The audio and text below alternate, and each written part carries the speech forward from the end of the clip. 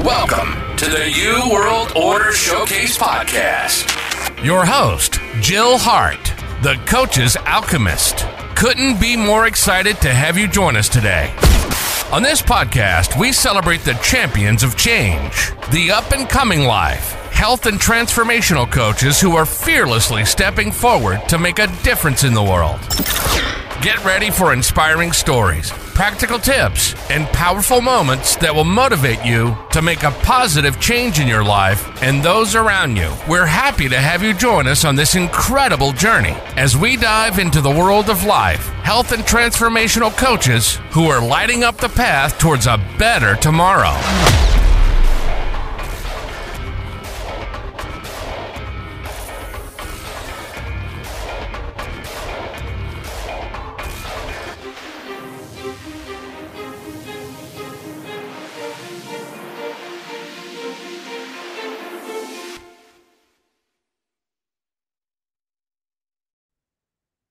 Hi, and welcome to the You World Order Showcase podcast. Today, we are speaking with Julie Waas, who is a high performance coach helping midlife women get set for a best second half of their lives. And Julie is like the living inspiration for us to follow because she is doing just that. She is she's a multifaceted, not entrepreneur, but she's just a multifaceted woman. she's got her hand in a couple of different things that are really interesting and and so diverse. Welcome, Julie. It's so nice to have you with us today. Nice to be here. Thank you for inviting me. Um, so tell us your story. I know you're an attorney and you're a professional artist. Is that your piece in the background? No, it's not actually. move away from my computer so that I won't be distracted by the computer. No, it's it's actually somebody else's wonderful piece. So I, I actually um, put up on the walls of my house that that's that are mine. I have some paintings that I just you know finished that are sitting on the floor, but um, but no, that's not my piece. But my story is is um, it's kind of crazy, but I, I'd like to think it's inspirational. I've been an attorney for 37 and a half years. Um, actually 37 years. What am I saying? 37 and a half. And I have three adult sons. My oldest son is autistic and uh, he's in a program in Kentucky. So I went to law school because I wanted to do something. It wasn't that I had a passion for being a lawyer, although I have had a fabulous career. I, I have no complaints about that. And I really do enjoy my job. I'm lucky enough to be in house counsel um, for a large hospital system and work with wonderful people, but it's never been my real passion. Um, on the side, for my whole life, I've been drawing. Every time I had a pen in my hand, you know, I'd just be mindlessly drawing abstract designs. And I used to call them doodles. And during the pandemic, I began working from home and um, still working from home in my law job. I'm still practicing full time. And I was attending a deposition via Zoom and just listening in and drawing as usual. And I decided this was February of 2021. Decided I was going to buy some paint pens and some art paper. I figured as long as I'm drawing, I might as well make them look pretty. And so I did that. And um, I made a few pieces and showed my husband. And he suggested that I start selling them. And, you know, at first I thought, well, that's crazy. I have no training as an artist my sixth grade teacher told me I had no talent. So after that, I never took another art class. And but I finally did in in October of 2021. Um, set up my website, started an Instagram account, and in November 2021, I was invited by a gallery in London to come exhibit in March of 2022. At first, I thought it was a scam. Like, how could somebody be reaching out to me to do this? But sure enough, it was real deal. And um, in the past two years, um, I've been invited and have exhibited in two different galleries, three times in New York, the gallery in London, Madrid, Innsbruck, um, three times in Miami. And it's been an incredible journey. Um, I love doing it. It's the other side of my brain. And I've even now branched out to start painting which has been a lot of fun. And I never thought I could paint, but I'm doing abstract paintings as well. So the other side of me, uh, not that I don't have enough to do in my life, is I've right. for helping women in midlife. And the story really began with my childhood and my mother. When I was uh, 15 years old, my older sister went to college, and my mother went to bed for six weeks, like literally did not move for six weeks. And it was very scary for me. Obviously, I was, you know, I was the younger sister. And my mother was a stay at home mom, brilliant woman, college educated, but never allowed by my father or her father to work. And this was back in the, you know, the 70s. So it was a different time. But it was a very powerful lesson to me to watch her go through this horrific depression to the point where she wouldn't even talk to me for some a few days. Um, and I was only, I was in high school. And I decided then that I was never going to be like her. I was going to, you know, always work, always have something to do, always have a job, never let a man tell me that I couldn't do anything. And so I've always wanted to help women at that empty nest stage, that sort of midlife, I don't want to say crisis, but the time when you it start is. back, yeah, and and thinking about, well, what do I really want to do with my life? What have I put aside for my kids? maybe I've I've been in a profession that's really not my passion, and um, and so I sort of feel like this is now dedicated to my mother. Honestly, that I want to write the ship, so to speak, you know, in in honor of her. And so I became certified as a high performance coach um, a few months ago through Brendon Burchard's program. And so now I have a great curriculum to use. And I've gone through the high performance coaching um, myself as a client. So I know how it works, but I want to use it as a tool to help women in midlife, you know, get get clear on, you know, on themselves, their purpose, um, get the courage to start something new, to figure out sort of what's their thing. I was talking with a client last night and we were talking about what she wants to do with the rest of her life and talking about how you know you can say oh i want to do this or i want to do that but you've never done it before but then sitting back and thinking well what is what is your real thing? What drives you? What have what would be fun for you? What would be exciting? And and really digging deep and finding that out. And it was really interesting with her because she had thought at the beginning when we started working together that something was something she wanted to do. But in going through it, she realized, no, there's something else that really excites me. And this is what I'm going to do now. And so uh, that's why I decided to, in addition to my art, in addition to my law job, help women through this coaching program. Uh, that's that's really an amazing story and I can see how it's helped you in that art was just something that was always a part of you but now it is it's a larger part of of your life and it's it, it art is such an expressive thing and it's so personal. It, it's kind of like coaching in some ways where it's it, it too is really personal for you and that um you're helping other women probably professional women i would assume be able to take a step back and and really move forward in the direction that lights them up.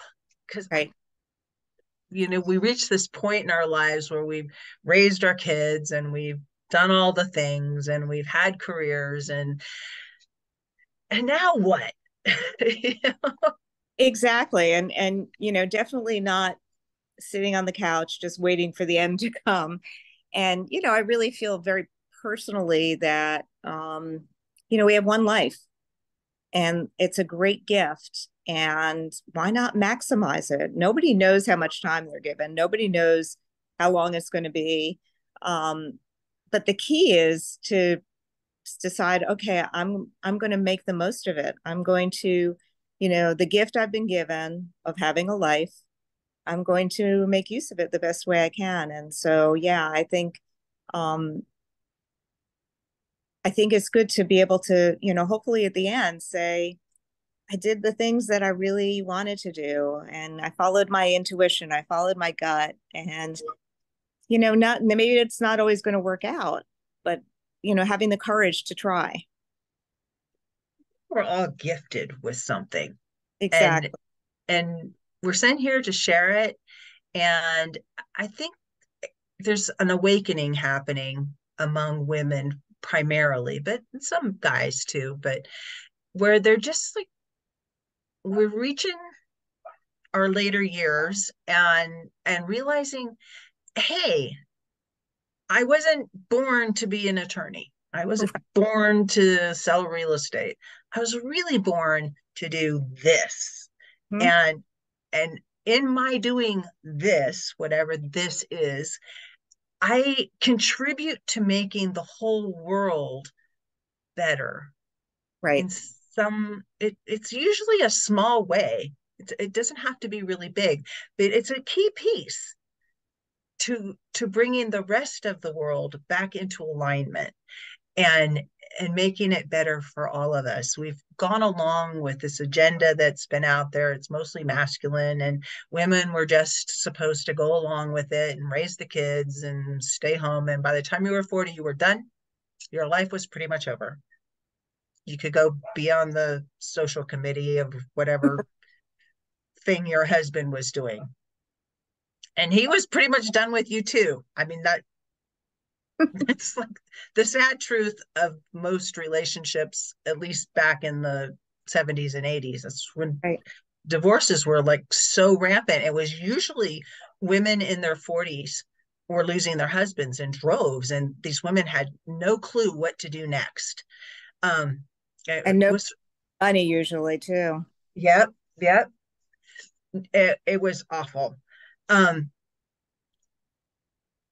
yeah I'm, I'm sorry I just like that that bothers me a lot yeah. that it happened but it did happen and women now you know you, you hit 40 and 50 and it's like I, i'm i'm just hitting my stride i'm waking up i know what i want to do and it's, it's really exciting. I'm 63 and I feel like I feel like a kid again. It's like there's so much potential and and so many great things happening and it, it's fun to be part of it.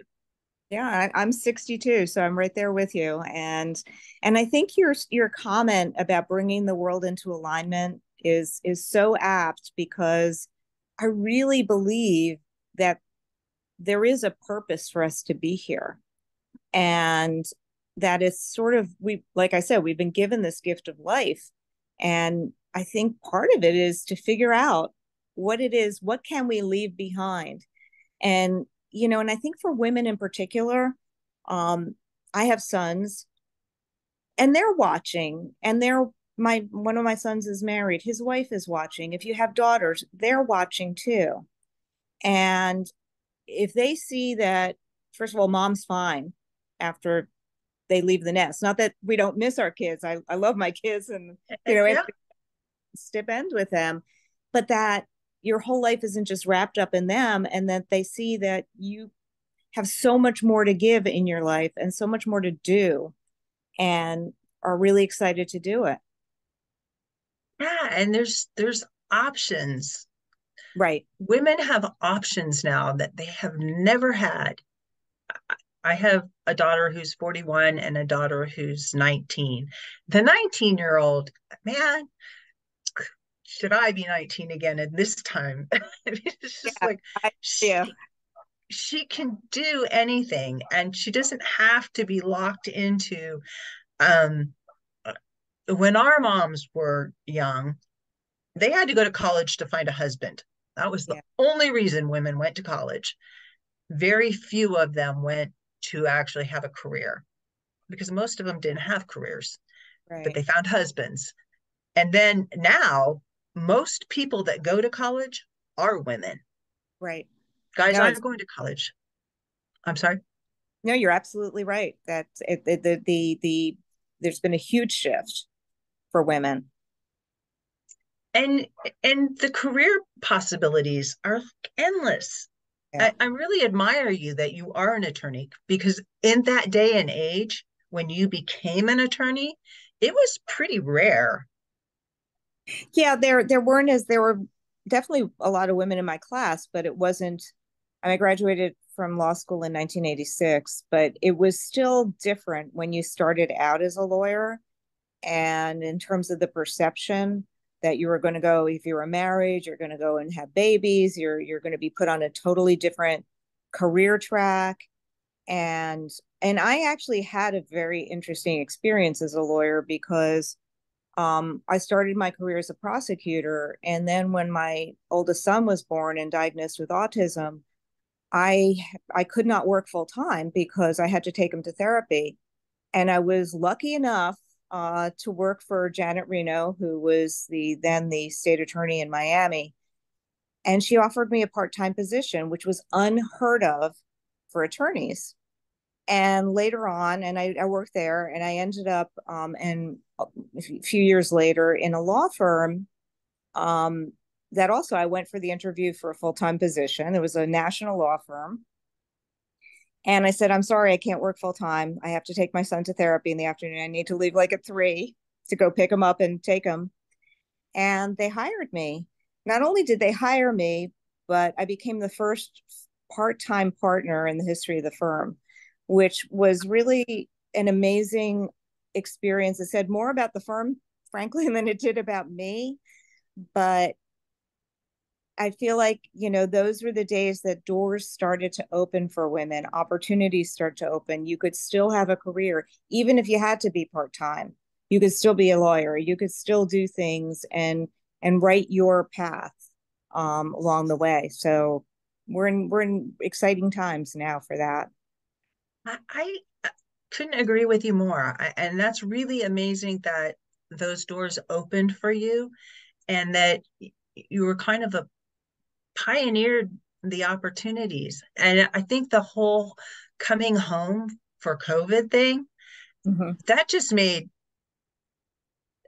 it really transformed the work world in a way that I don't think we'll fully recognize for a few more years yet. Mm-hmm. But I know a lot of professional women who used to have to get up and go to work and sit in the office and then come home and then have a life at home um, are now they they work from home and when you work from home it gives you so much more um, ability to integrate your work and your life together because you're not having to commute and I think Zoom has been a great thing for that. Oh, Zoom is amazing. Zoom is absolutely amazing on so many levels. I mean, not just work wise. And it's true, you're right, because you spend time in the car that if you want to do something else, then when you're done with your workday, you can just, you know, close that computer, close that book, and go do like for me when i'm done at the end of the day i might go sit at my art table and start working on art because i have a you know takes me 10 seconds to get from my work desk to my art desk so yes it opened up huge opportunities and huge opportunities just for connection in general and opportunities to network with people and see people and communicate where you're not just talking on the phone where you actually see the person. And what an amazing amazing amazing technology that came just in time with covid.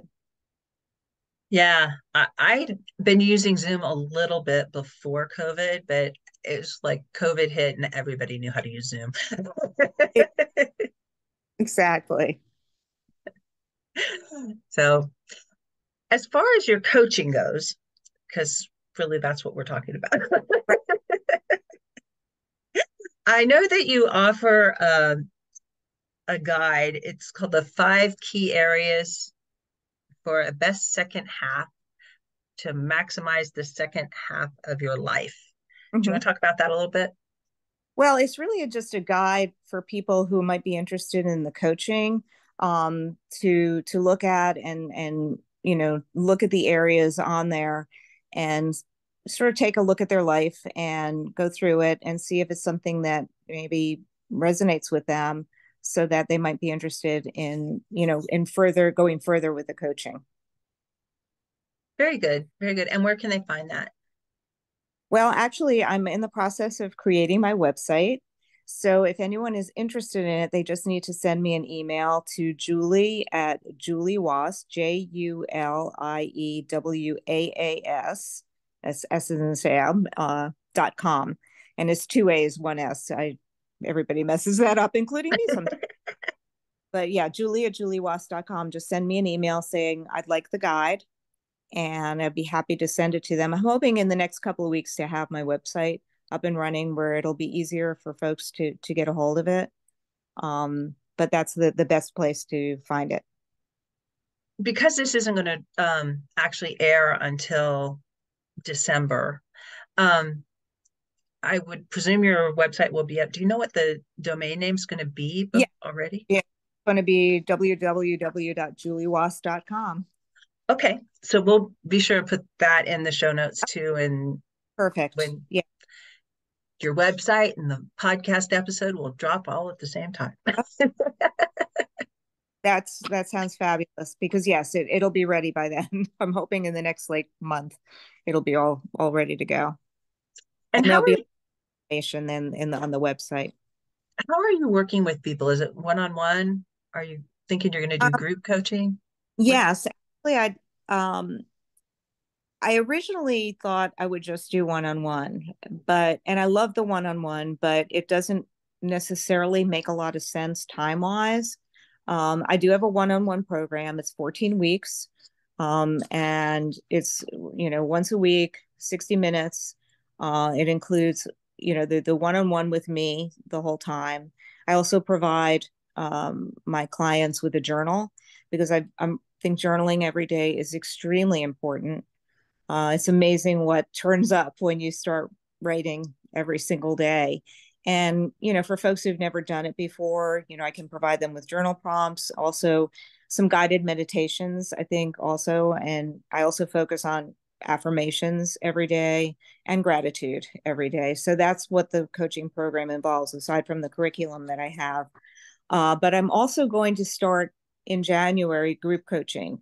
Uh, what I'd like to do is have a couple of groups of women. I don't want it any larger than six so that everybody can really dig in and get to know each other and have an opportunity to contribute. I think when groups get too big, you know, especially if you're someone that might be reticent to, you know, speak up, um, you're going to just sit there and maybe not necessarily get the most out of it. So the the group coaching program is going to be s- similar. It'll also be 14 weeks. It'll be 12 weeks of group, and then everybody would get a two sessions with me one on one for 60 minutes. Um, and then the group coaching would probably be, I'm planning it to be 75 minutes so that we really have an opportunity for everybody to contribute. Because the the method of the coaching is I don't tell anybody what to do. It's through the right type of questions to dig out the information, dig out what's really in your heart and what your feelings and and you know to get that clarity. So it's it's a wonderful opportunity for everybody to do that. So that's why I'm going to do both the the one-on-one and the group coaching. I think that's amazing. I I know from personal experience that the magic really does happen in groups. Mm-hmm. It's there's there's some dynamic that when you're in a group of women if and small cohorts are really great for this that you just you meet lifelong friends mm. and and and you have new partners that you can collaborate with and and we're we're really moving into a time where it's less about competition and more about co-opetition which to me is women are their very best you compete with yourself to right. be your the best you can be and and show up authentic to yourself and the best you can be. And so you can push your sisters up because they're they're coming too. They're bringing what they have their special gift. And as we all come together we can lift each other up and that is what makes the world a better place. Oh i couldn't agree more. And i think you're right about the group because the dynamic is such that you know when some when one person starts opening up you feel more comfortable opening up yourself mm-hmm. that you might feel intimidated in the one-on-one situation and and i failed to mention that it was going to be on zoom So everybody, thank good, thank goodness for Zoom. You know, it doesn't where they are in the world. Um, we can all come together and either locally or you know whatever, but on Zoom, and that way everybody gets to see each other and develop those relationships. And I think when you're in a situation where you're being vulnerable, it's a great opportunity to make those connections, make those friendships, you know, have somebody that you can turn to who's been with you as you were crying and talking about whatever that came up. Mm-hmm. And when you have more than one person, then it's not like so much about teaching as about um, collaborating. And you know you, you never know who's going to come up with the, the next great idea. And right. somebody might have a, a an answer to something or have has been through something that's similar and they have an experience that they can share that might impact this other person in a way that if it was just one-on-one you didn't have that experience so you couldn't share. And yeah i've i've seen it happen so many times yeah you're right and it's even to the point where somebody might say well i'm interested in doing x and it may have been something like oh my gosh you know the other person's thinking wow that's something i'd like to do too and it goes back to sort of like what's your thing?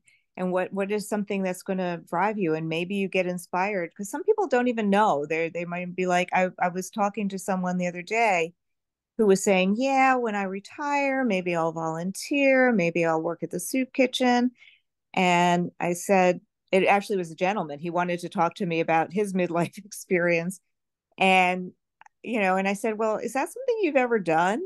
And he said, No. And I said, Well, is it something that are you just saying it because it sounds good that when you retire, you'll suddenly volunteer and that'll become a passion? And he's like, Wow, I never thought about that. I said, Maybe you should think about what is it that you really want to do that that's really in your heart that you've not had time to do instead because you're more likely to stick with it if it's something that's you're feeling more passionate about if it's something that becomes just another job well is that really what you want to do? So it's a lot of lot of you know so hearing other people talk about it in a group setting can provide people with just some ideas and that they might not have ever thought of when you're talking about you know, people going and volunteering at the soup kitchen. gentlemen, it kind of reminded me of my dad, who um, he's a retired naval officer, and he had a career in eh, the aerospace industry and a couple other industries, and um, he uh, he does volunteer sometimes at the soup kitchen mm-hmm. around the holidays, but he he's an artist. He oh, decided. Oh, really? Yeah. Wow. He, he's exhibited his art. It was in the Phoenix um, airport for a while. Wow. Unusually enough. But um, yeah, it was like something totally different for him too. And that's that's the beauty of it. If even doing something totally eh, different can just re-energize you and give you, you know, excite you to now move in a direction that you may not have thought of. And circles that of people that you might not have been introduced to. Right, right. You know. I, I do believe that there's no coincidence that we meet people along the way who maybe send us in one direction or suggest things or introduce us to things or introduce us to other people. And that is all part of a greater plan. It's it's not that oh i wow what a coincidence. I ran into you. No i don't think so. I think i think very clearly that's why you know i, I want to make sure that i help other women go down that path and not just ignore the signs so to speak. Yeah and it's easy to ignore the signs. Absolutely. you don't have to anymore. Right. Right. So julie what's the one thing you want to leave the audience with today? I want to leave the audience with the just the notion that women life is not over when you're in your 40s 50s 60s or beyond that you have a whole life to live that you have a purpose to being here and that you want to, you know, you should maximize every second of this life and that I am here to help you find your thing, find your courage, find your purpose, get clear, and have just an amazing rocking second half. Amen to that, sister.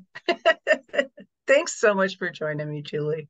Well, thank you for inviting me on. Thank you so much for tuning in to another empowering episode of the You World Order Showcase podcast. We hope you've enjoyed hearing from our incredible life, health, and transformational coaches who are making a profound impact on the world. Remember, change begins with you, and you have the power to transform your life and the lives of others. If you want to take that next step and unlock your true potential, visit thecoachsalchemist.com where you can find the three ways we can help you for free to spin your talent into gold with clarity, a system, and a plan. Don't forget to hit the subscribe button so you never miss an inspiring episode. And if you enjoyed today's show, we'd greatly appreciate it if you could leave us a review on your favorite podcast platform. Your feedback means the world to us and helps us reach more people with our positive message. Stay connected with us on social media for updates, behind the scenes content, and upcoming guest announcements. You can find us on Facebook at the You World Order or simply visit thecoachsalchemist.com.